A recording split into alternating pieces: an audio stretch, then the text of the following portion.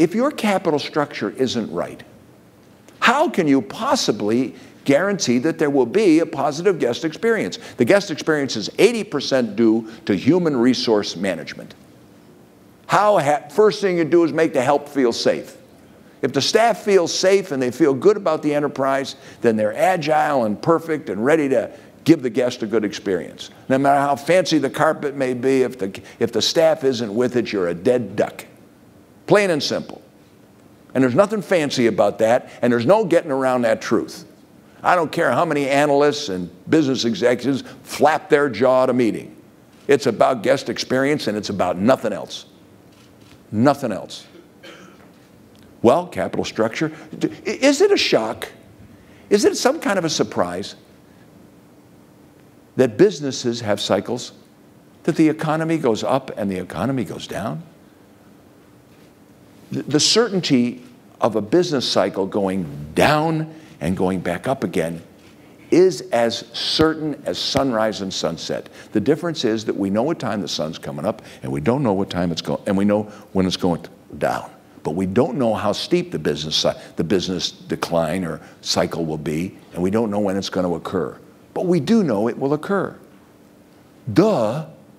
Is it a surprise that a business, that in good times, a well run business can make money, and in bad times, it won't make such good money? And in horrible times, a business can lose money? Hello? That a business can lose money? Is that like a news flash? If that's as obvious as it sounds, how could any responsible enterprise be run by executives that don't take that truth into account? And what are we to do when there's a downturn? Throw the baby out?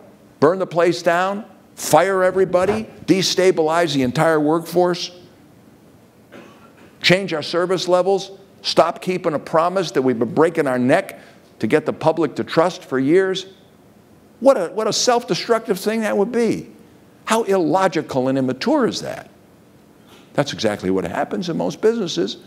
A bunch of dimwits get in a room and start cutting costs.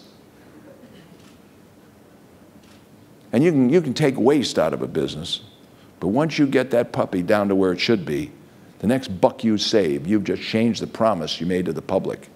You damn well better change the price, or you're not telling the truth and then you lose your credibility and you lose your business. Capital structures got to be able to anticipate the certainty of business cycles and the loss of profitability.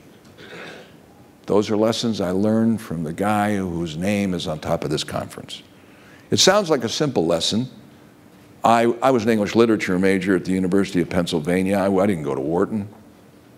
So when I met Mike, I was a guy that understood about color and environment and people. But I wasn't very savvy about capital structure. And maybe that was a good thing because then I became a student who listened. And probably that's the reason why I'm still here.